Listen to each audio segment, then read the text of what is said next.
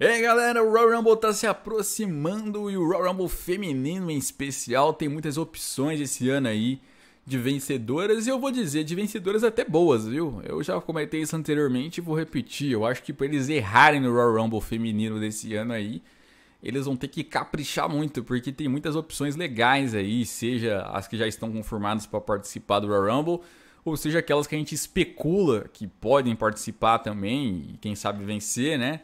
E é isso que eu vou citar aqui nesse vídeo aí, as opções que a WWE tem hoje aí como possíveis vencedoras do Royal Rumble Match, mas vocês podem deixar outras no comentário também, né? Por exemplo, a Mick James, né? A Mick James aí, que atualmente é campeã na Impact e chamou muita atenção, né? De ela estar tá participando de um show da WWE agora, de um Royal Rumble, né? E aí o pessoal começa a especular de ela vencer, até para meio que começar uma parceria de WWE e Impact Wrestling, então meio que isso seria já uma porta de entrada, com a Mickey James ganhando, até uma forma também de consolar ela depois daquela demissão traumática que ela teve lá no passado, a forma como foi feito, né? É que assim, pegando o histórico das últimas duas passagens da Mickey James, é estranho ela ganhar o Rumble, sabe? Tipo, ela tinha muitas vezes moral de uma jobber. Então, é esquisito ela voltar e ganhar o Rumble Match, mas você sabe que a WWE muitas vezes acontece disso. Então, não precisa ter uma lógica ali no roteiro. Ela pode voltar e dessa vez ser um retorno não das últimas passagens, mas um retorno como se as últimas passagens não tivessem acontecido e fosse a Mick James lá do passado com todas as suas conquistas, né? Então é uma opção, já que vai estar participando. Você tem a Lita, né? A Lita também é um nome aí que ganhou muita força para poder vencer esse Royal Rumble, principalmente aí depois já desse pequeno teaser que teve com a Charlotte, né? Então, para mim, encaixa. É alguém que tem moral, que tem uma carreira legal, que deve estar bem fisicamente, vai participar do Royal Rumble. Não veria ninguém reclamando da Lita ganhar o Royal Rumble match ali. Pelo contrário, gostariam muito. E depois já casaria certinho para enfrentar uma Charlotte na WrestleMania. Ou a Beck, caso ela prefira escolher a Beck também, não tem problema, né? Eu acho que a Lita seria uma vencedora bem feita, né? Ah, seria previsível e tal, mas às vezes as coisas previsíveis são boas também, não é porque já tá esperando que é ruim, né? Então, Lita é um nome que eu também aí é, até apostaria de que pode sim sair como vencedora. Tem a Nick Bella, né, que vai voltar também aí mais uma vez. Se não me engano, ela participou da primeira edição lá, ficou até o final, foi eliminado pela Asuka. E acho que também pode ser uma opção interessante, né? A Nick Bella aí ela tem sua história ali na época das divas, principalmente. Quando aconteceu ali a Revolução das Divas, ela foi meio que se afastando ali para outros projetos. Teve uma lesão que afastou ela de vez aí. Então, assim, ela deixou de aproveitar vários bons momentos aí que as superestrelas vieram conquistando.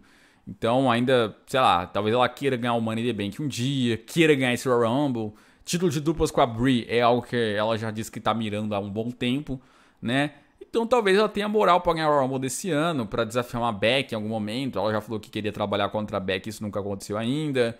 Ela ir contra a Charlotte novamente ali. É que eu acho que a Nick funciona melhor heel do que face, né? Então eu acho que ela deveria enfrentar uma adversária babyface ali e com uma personagem heel mesmo.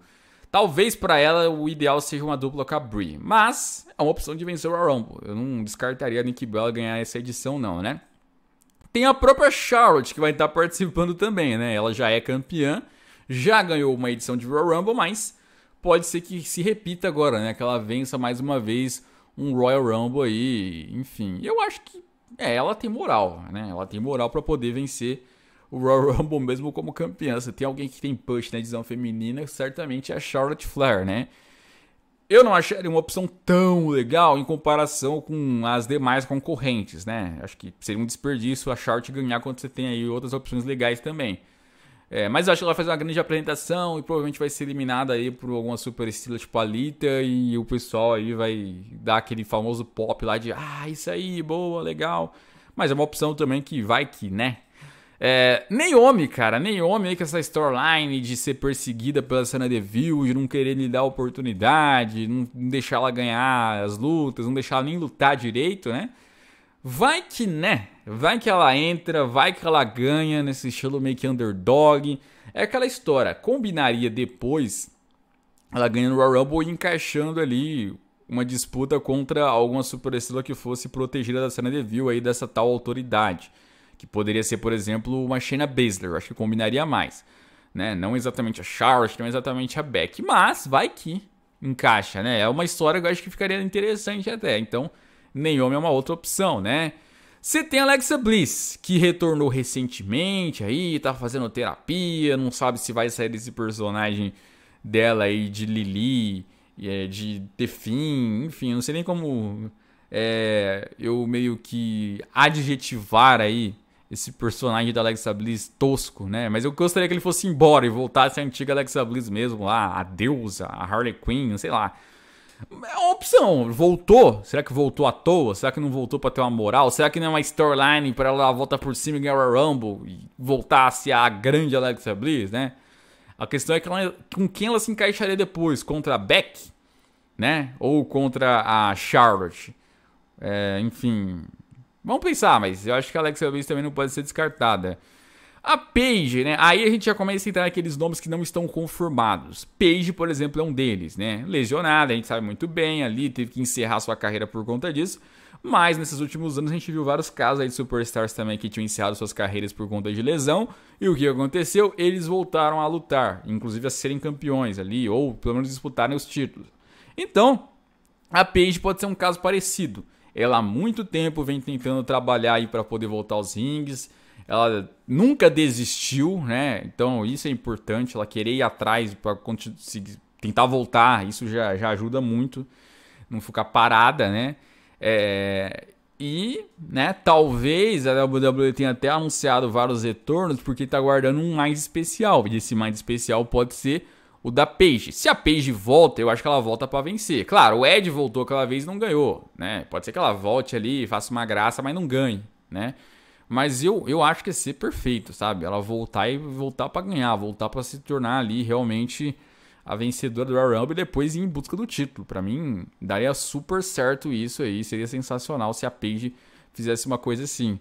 Então, se por acaso acontecer dela participar, Vai que, né? Seja para ela ganhar. Eu, espero que sim, cara. Ia ser emocionante. Porque a gente não teve ainda isso na divisão feminina, né? Tipo, um retorno de lesão vindo para vencer. Tá faltando uma história assim. Nos homens já rolou vários Rumbles isso. Então a Paige tem que ter essa historinha, né? E aqui vai o que eu tenho aí meio que especulando sozinho praticamente há meses de poder ser uma Ronda Rousey, né? O vice-presidente da WWE já falou que é questão de tempo para ela retornar. É, ela não descartou de ter contrato com a WWE, apenas meio que desconversou. Falou: ah, fala com o meu advogado aí. Tá meio sumidinha da mídia, já pariu lá o filho que ela queria e tinha se afastado por uma dessas razões. É, a Beck é a atual campeã e vem agindo como o Rio e o público cada vez mais se virando contra ela. Faz todo sentido do mundo Ronda Rousey vir retornar e pegar a Becky Lynch para WrestleMania, um combate que ainda não aconteceu. Tudo isso encaixa, só tem um problema: a Honda realmente querer voltar. Talvez eles tenham guardado esse segredo e ninguém sabe, né? Tenha um rumor aí escondido. Eles conseguem às vezes esconder essas, essas retornos, essas aparições. O que o pessoal desconfia é o fato delas ofensas que ela fez ao universo da WWE durante esse tempo dela fora. Mas, gente, já teve gente que fez coisa pior e voltou mesmo assim, né?